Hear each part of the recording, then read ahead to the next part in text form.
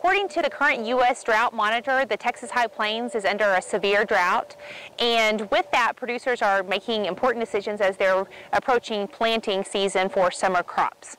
Um, many producers are having to pre-irrigate um, as well as potentially evaluate their crop selection, especially if they are under limited well capacities.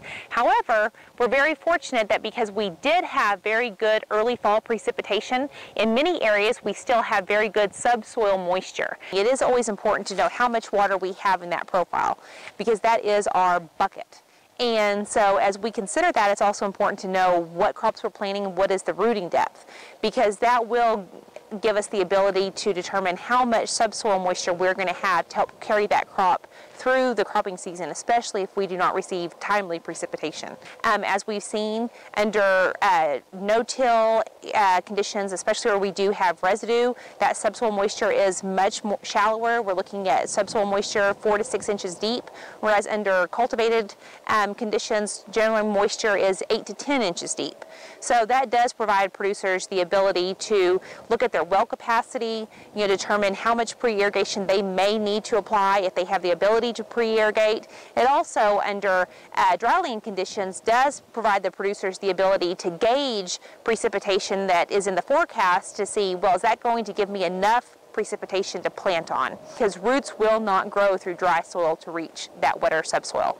And that is something that's always important to keep in mind. Even if we receive a precipitation event this next week as is forecasted, that is not going to break our drought. First, as we consider dry conditions, many producers are evaluating when they should be planting. Um, for our cotton crop, unfortunately, we don't have a lot of flexibility. We are in a very limited growing degree day region, and so it's really important that we get our cotton crop established early so that we can accumulate sufficient growing degree days to mature that crop before our early fall, earlier fall freezes. Um, that, you know, unlike farther south where they have a, a longer growing season. Um, fortunately for grain sorghum, though, um, we do have flexibility with regards to our planting date. For grain sorghum, we do see that we are able to make a very good grain sorghum crop even planting into mid and late June. Of course, producers do need to consider the maturity class of the hybrids they plant if they are planting later.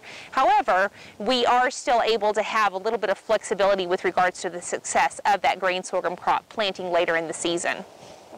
So, and of course, even for corn, while our um, while for insurance purposes we do want to get our corn in uh, prior to um, the 1st of June, even if we do plant into June, we do see oftentimes that we've shifted the, the period of flowering and tasseling out of some of the hotter periods of the summer and oftentimes we'll actually see greater kernel set and sometimes benefits by planting that corn crop even later in the summer. So producers often have to evaluate um, you know, how they're managing their insurance programs with regards to their um, planting times. Uh, one of the challenges that producers may have, especially under dryland conditions, is herbicides. And are we going to have enough precipitation to acti actually activate some of our so uh, residual pre-plant herbicides? And as we move into um, summer cropping season, those early pre-plant herbicides that provide residual activity across the field are very important because we want to make sure that we minimize competition from weeds with our primary crop because weeds are using water.